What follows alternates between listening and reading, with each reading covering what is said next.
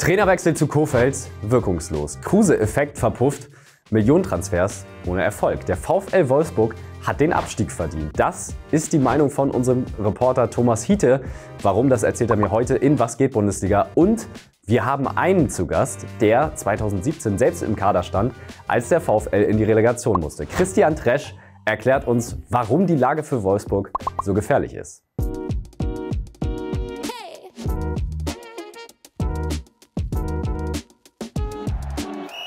Ja, der VfL Wolfsburg steckt schon wieder in der Krise und da hilft ja aktuell irgendwie auch ein Max Kruse nicht.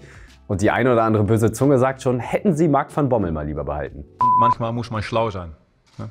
Ja, und besonders schlau muss jetzt natürlich Florian Kofeld sein und Lösungen finden, damit die Wölfe nicht noch absteigen. Noch haben sie ja fünf Punkte Vorsprung auf Platz 16, aber die Form spricht so ein bisschen gegen sie. Und deswegen die Frage an euch, wie groß ist die Abstiegsgefahr für den VfL Wolfsburg? Ab mit eurer Meinung unten in die Kommentare und dann abonniert natürlich auch den Kicker-Kanal, damit ihr auch kommende Woche unser neues Format kompakt nicht verpasst.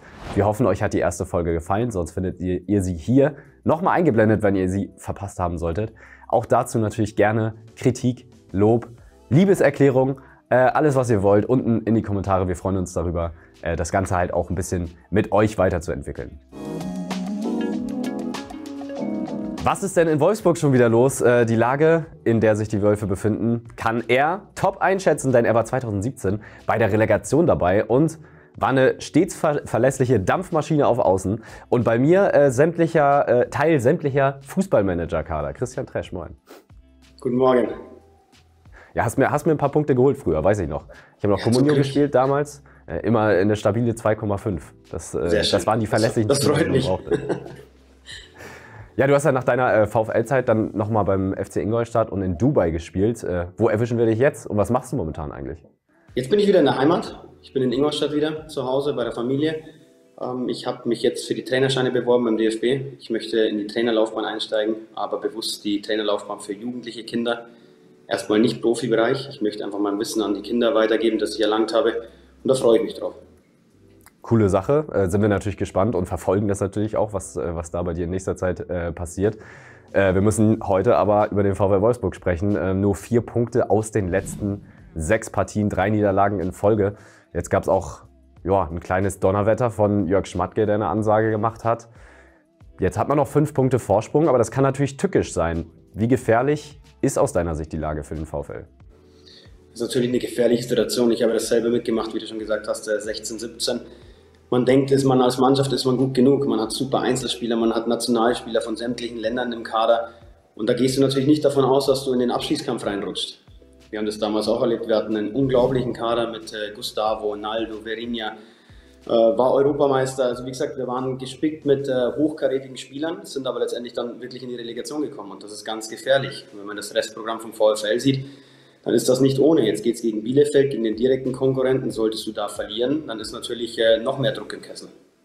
Auf jeden Fall. Äh, Restprogramm sprichst du an. Sie haben noch Bayern und Dortmund vor der Brust. Gut, die Bayern am letzten Spieltag. Das könnte dann ähm, vielleicht schon in Sachen Meisterschaft entschieden sein und die Bayern, naja, vielleicht ein paar Prozent nachlassen, wobei es sind halt einfach die Bayern. Ne? Also das ähm, ist dann, glaube ich, auch ähm, irgendwie egal, in welcher Lage Ja, das, das ist eben, was du sagst. Das ist das letzte Spiel von Bayern. Ich glaube, Bayern will sich nicht die Blöße geben, den Saisonabschluss mit, einen, mit einer Niederlage aufzuhören. Deswegen kann ich mir nicht vorstellen, dass die das locker angehen.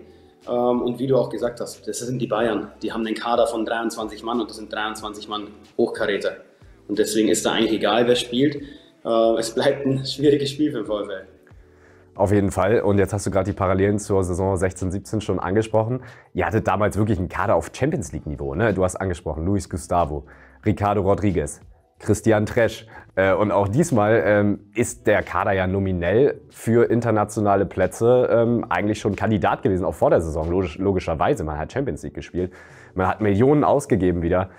Was ist denn bei euch damals schiefgelaufen, was vielleicht dieses Mal auch wieder schieflaufen könnte? Ich finde, man kann gut Parallelen zu dem Ganzen ziehen. Ähm, der Kader ist natürlich ausgelegt, dass man international spielt. Startest aber nichtsdestotrotz, ich glaube, mit fünf Siegen in die, in die Saison hinein. Mit Van Bommel wird dann aber entlassen. Und seitdem ist irgendwie so ein bisschen der Wurm drinnen. Ähm, sie machen gute Spiele, verlieren trotzdem, dann spielen sie mal wieder schlecht, wie jetzt zum Beispiel gegen Augsburg, ähm, keine Griffigkeit im Spiel drin. Und ähnlich war es bei uns auch damals. Wir hatten einen Kader für die Champions League ausgelegt, wir hatten einen extrem hohen Etat, was natürlich immer sehr wichtig für die Fans ist, wenn man das sieht, der Etat ist hoch, also muss man oben mitspielen. Ähm, und da war auch das Denken, ja gut, eigentlich kann uns ja nichts passieren. Wir sind ja viel zu gut für Hamburg, für Bremen, was weiß ich, was für Mannschaften noch da waren. Und das ist sehr, sehr heimtückisch. Ich glaube, ähm, vielleicht ist bei dem einen oder anderen das Denken drin, ja gut, ich bin ja viel zu gut für den Abstiegskampf. Eigentlich müsste ich ja Champions League spielen, aber man spielt nicht Champions League und man spielt auch nicht um die internationalen Plätze und das ist das Gefährliche.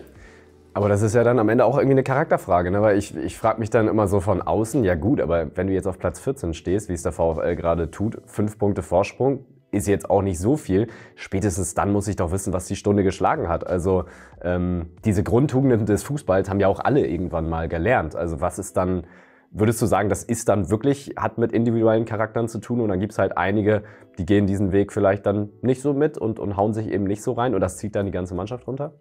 Ich will jetzt nicht irgendwie eine Charakterfrage stellen oder so. Natürlich gibt es, äh, wenn du erfolgreich bist, äh, mehr Empfindlichkeiten. Du fährst zu deiner Nationalmannschaft, du brauchst das, du brauchst das, ähm, du bist mehr im Fokus drinnen. Aber ich kann mir jetzt nicht vorstellen, dass irgendeiner diese Situation komplett unterschätzt. Es ist natürlich schwer zu sagen, okay, ich, eigentlich müsste ich ja höher spielen oder an einem besseren Tabellenplatz stehen, aber ich bin es momentan nicht. Da den Schalter dann umzulegen, ist nicht so einfach. Wie gesagt, bei uns war es damals auch so, ja gut, was soll uns denn groß passieren? Und auf einmal bist du in der Relegation, geht es gegen Braunschweig, war auch noch Derby, war natürlich sehr aufgeheizt die Stimmung äh, in der Region, weil einfach Braunschweig-Wolfsburg eine Riesenrivalität da ist. Und dann den Schalter umzulegen, ist nicht so einfach. Es waren sehr enge Spiele. Wir haben zwar beide mit 1-0 gewonnen, aber ähm, Braunschweig hatte die Chancen, hatten die Chancen in Führung zu gehen. Und wenn du dann hinterherläufst, in so einer Situation drin bist, dann kann das ganz schwer werden. Wir haben es zum Glück geschafft, das war sehr wichtig, weil es einfach nicht nur für uns Spieler ähm, wichtig ist, nicht abzusteigen, aber auch für den ganzen Verein. Es stehen Existenzen auf dem Spiel. Du hast auf einmal fehlende Fernsehgelder, Arbeitsplätze müssen gestrichen werden. Also es ist ein Rattenschwanz, der da dran hängt. Ja, und das Stichwort für den VfL ist jetzt eben, das haben wir jetzt ja auch umrissen, Abstiegskampf annehmen. Ähm, und statistisch gesehen lässt der VfL das so ein bisschen vermissen, denn sie laufen nur 111 Kilometer pro Spiel. Das ist der schlechteste Wert in der Bundesliga. Und zum Vergleich, der nächste Gegner, Bielefeld, läuft jedes Spiel im Schnitt 8 Kilometer mehr und ist damit Spitzenreiter. Ähm, steht dem VfL sein Selbstverständnis auch in dieser Saison im Weg? Das würde ich nicht unbedingt sagen. Ähm, der VfL ist natürlich eine Mannschaft, die spielerisch sehr stark ist. Sie brauchen den Ball, sie wollen Ballkontrolle haben, sie wollen das Spiel kontrollieren.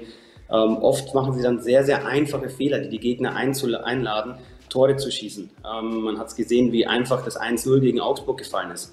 Der marschiert da durch den 16er durch. Ähm, es sind einfach Kleinigkeiten, die momentan den Unterschied ausmachen, aber die Kleinigkeiten sind dann letztendlich dann Riesenfehler. Und das ist so ein bisschen, was mir Mut macht an der ganzen Geschichte, ist, dass es andere Mannschaften gibt, die größere Probleme haben, die teilweise für mich viel schlechteren Fußball spielen, wie Hertha. VfB ist auch immer so eine Wundertüte, muss man sagen. Mal spielen sie hopp, mal sind sie richtig flop. Und deswegen ähm, bin ich da zuversichtlich, dass das ähm, ja, für den VfL einfach spricht. Lass uns noch mal ganz kurz dann auf das Spiel gegen Bielefeld gucken. Da kommt äh, Florian Kofeld zurück nach seiner Corona-Erkrankung. Sein Punkteschnitt beim VfL liegt bei 0,95. Ähm, es gibt keine Trainerdiskussion, hat Jörg Schmatke gesagt. Für mich ist aber immer so ein bisschen das Ding, also was ist jetzt eigentlich seine Spielidee? Ich kann es irgendwie nicht so wirklich erkennen, seit er beim VfL ist. Und wenn ich ganz ehrlich bin, auch schon in den letzten ein, zwei Jahren bei Bremen fiel mir das schwer. Kannst du da was sehen? Ich muss erstmal dazu sagen, ich finde es super, dass es keine Trainerdiskussion gibt. Heutzutage ist das Fußballgeschäft so schnelllebig, weil es einfach um so viel Geld geht. Wenn ein Trainer drei, vier Spiele nicht performt, ist er sofort weg. Ich finde es gut, dass meine Mannschaft an einem Trainer festhält, auch wenn es nicht so läuft. Natürlich muss man sich hinterfragen, macht man nochmal einen, einen Trainerwechsel, gibt man nochmal einen neuen Impuls, aber das bringt dann nichts, zwei Spieltage vor Schluss zu machen. Sondern das musst du dann fünf, sechs, sieben Spieltage vor Schluss machen, dass der Trainer, der neue Trainer auch noch Zeit hat. Von dem her finde ich das sehr, sehr gut. Ähm, ich weiß, Dieter Hecking, glaube ich, wurde mal auf Platz 4 entlassen oder Platz 5 bei Gladbach, wo man sagt, okay, wow, ähm, das kann eigentlich nicht sein. Und deswegen finde ich das in erster Linie gut, dass in erster Linie da festgehalten wird am Trainer. Ähm, glaub, Florian Kohlfeld, ja. ich muss sagen, ist für mich ein sehr sympathischer Trainer, auch schon bei Bremen gewesen. Die Spielidee ist natürlich sehr schwer. Der VfL hatte letztes Jahr ein sehr gutes Umschaltspiel drin mit Oliver Glasner. Das, ähm, ich weiß nicht, ob er das auch so spielen möchte. Er hat sehr spielstarke Spieler drinnen. Es ist teilweise, wie gesagt, sie wollen spielen, aber machen zu einfache Fehler, um in ihren Rhythmus reinzukommen. Und das ist natürlich für eine Mannschaft sehr, sehr schwer, dann irgendwie in eine Kontinuität reinzukommen. Ja, aber das, ja, der Punkt, den du äh, genannt hast mit den den frühen Trainer oder den Trainerwechsel kurz vor Saisonende hat ja auch bei euch äh, damals nicht so wirklich geklappt. Ähm, Andries Jonka hat dann übernommen und ihr ähm, ja, seid trotzdem in der Relegation gelandet. Äh, jetzt lasst zum Abschluss äh, nochmal auf ein Spiel schauen, was dann am 32. Spieltag ansteht. Das ist nämlich das direkte Duell deiner beiden Ex-Vereine. Du hast den VfB gerade schon angesprochen. Das könnte dann natürlich auch möglicherweise ein vorentscheidendes Spiel im Abstiegskampf sein. Ähm, Wenn es hart auf hart kommt, VfB oder VfL? ähm, natürlich äh, hatte ich in beiden Zeiten oder bei beiden Vereinen sehr schöne Zeiten.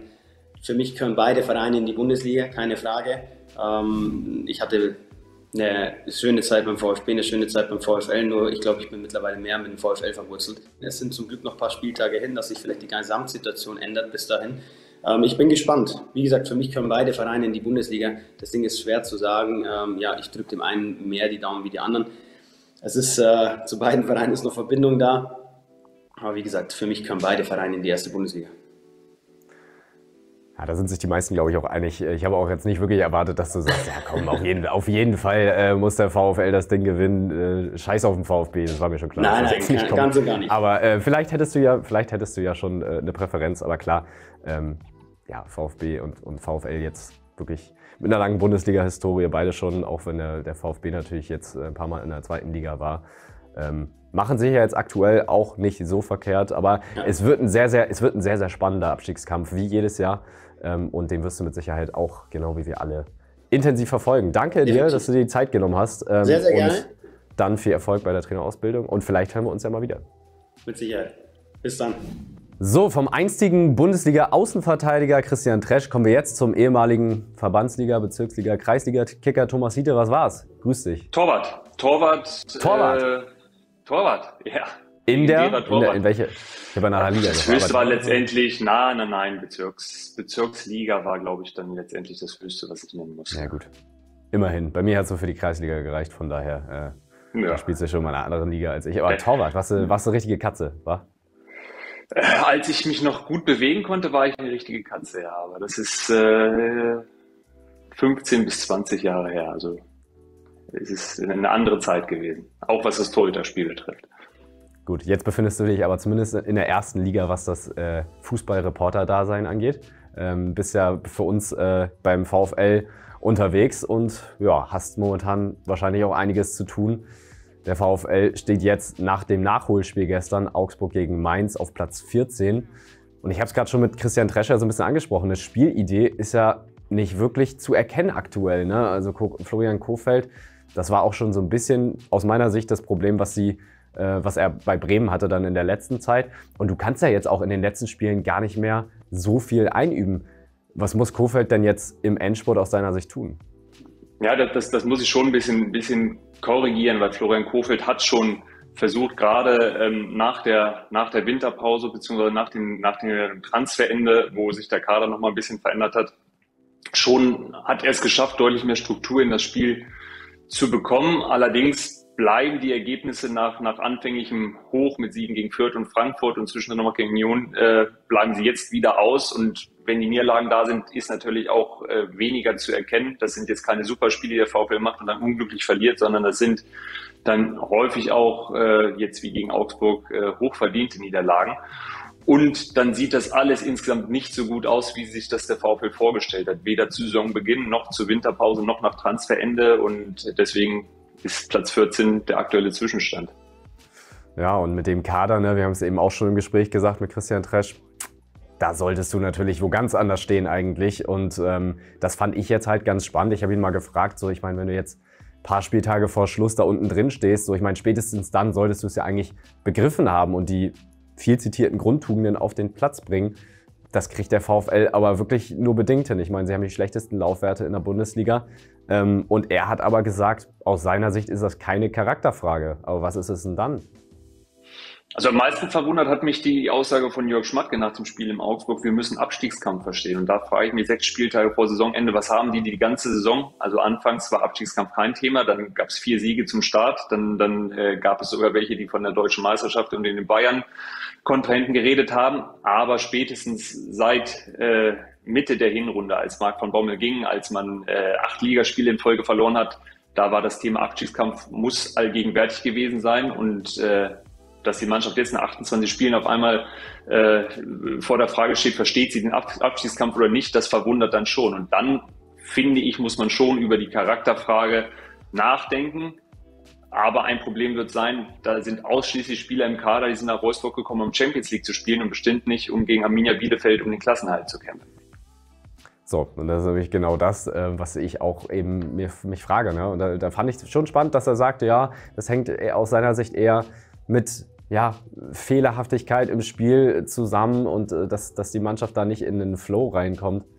Naja, also das äh, wird sich dann jetzt gerade gegen Bielefeld zeigen. Ist ja auch so ein Spiel, da sprechen wir, sprechen wir natürlich gleich auch noch drüber in unserem Schnelldurchlauf, was jetzt wirklich auch die Richtung für die letzten Spiele vorgeben kann. So, und jetzt äh, ist natürlich spannend, ähm, du hast uns ja eine knackige These mitgebracht, Thomas, denn du hast gesagt, dass Wolfsburg den Abstieg verdient. Warum? Also da, da, damit meine ich nicht nur Wolfsburg. Wolfsburg hätte das im Tabellenkeller natürlich verdient, genauso wie Hertha BSC, weil das Clubs sind, die finanziell ganz andere Möglichkeiten haben als jetzt zum Beispiel Kräuter Fürth sowieso oder auch Arminia Bielefeld.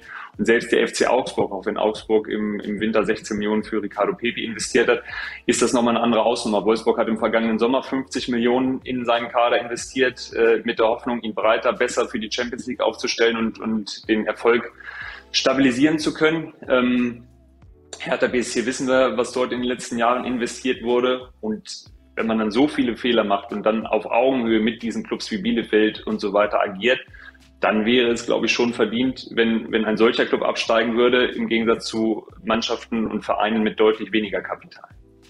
Ja, also ich glaube, äh, in Bezug auf äh, die diese Aspekte hast du da auf jeden Fall recht. Vielleicht, wenn es um die Leistungsstärke dann angeht, hat der VfL vielleicht schon ein paar Spiele gehabt, die jetzt äh, andere Teams da unten nicht hatten. Aber ist durchaus eine These, die man vertreten kann. Ähm, mal sehen, was dann die VfL-Fans dazu in den Kommentaren sagen.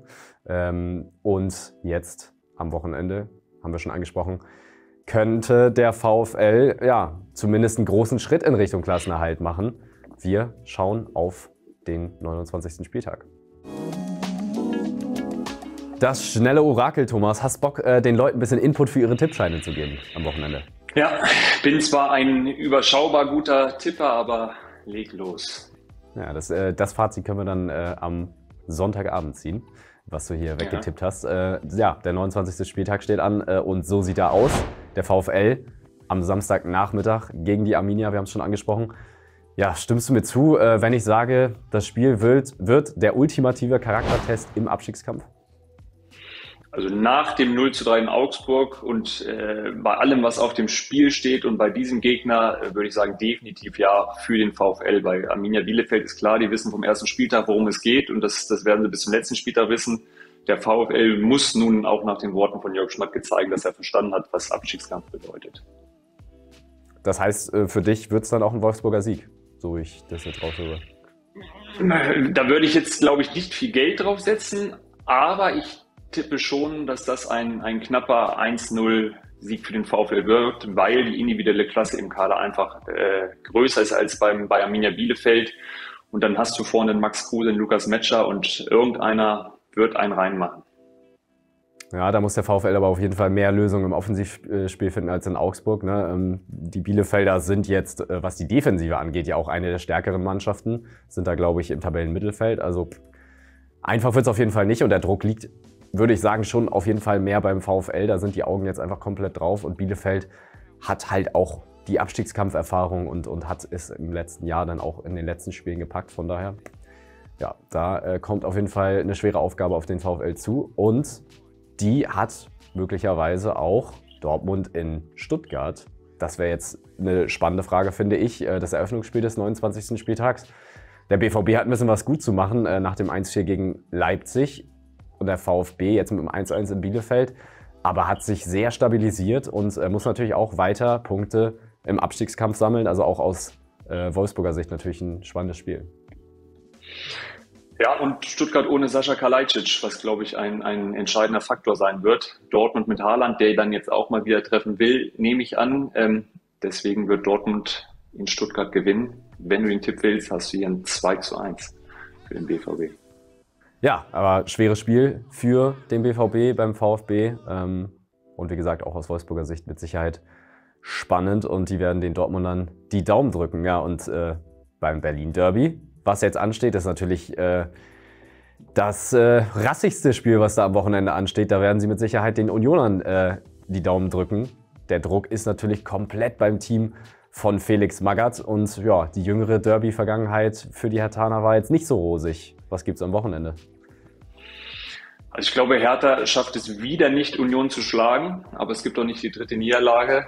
Deswegen würde ich ein geschmeidiges 1 zu 1 tippen, was für Hertha BSC in diesem Spiel natürlich zu wenig wäre. Und ähm, der Felix Magath-Effekt droht dann zumindest so ein bisschen zu verpuffen mit der Niederlage in, in Leverkusen, wenn das Heimspiel dann nicht gewonnen wird gegen Union.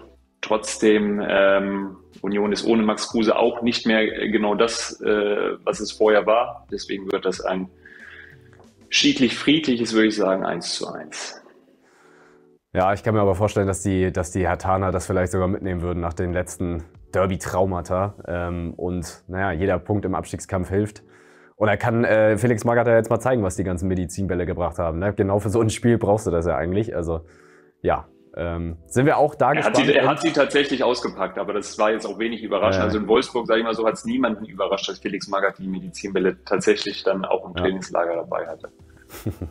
ich kann mir auch vorstellen, der ein oder andere Hertha-Profi hat die noch nie gesehen in seinem Leben. Von daher, ähm, naja, vielleicht ist es ja mal die ein oder andere Maßnahme, die da äh, den ein oder anderen Spieler auch nochmal, ja, vielleicht ein bisschen den Kick gibt, den er dann für den Endspurt braucht. Und Freunde, über alle anderen Spiele, ihr wisst es, könnt ihr wie immer alles lesen auf kicker.de, in der Kicker-App und im Donnerstagskicker, wo du natürlich auch wieder deine Spuren hinterlassen hast, Thomas. Und auch ganz erfolgreich natürlich wieder hier bei Was geht Bundesliga. Und äh, ich gehe mal ganz stark davon aus, dass wir, ja, vielleicht, wenn der VfL jetzt nicht gegen Bielefeld gewinnt, ähm, dass wir im Endspurt nochmal sprechen könnten, wenn wir ein Abstiegskampf-Special machen. Dann hören wir uns mit Sicherheit nochmal.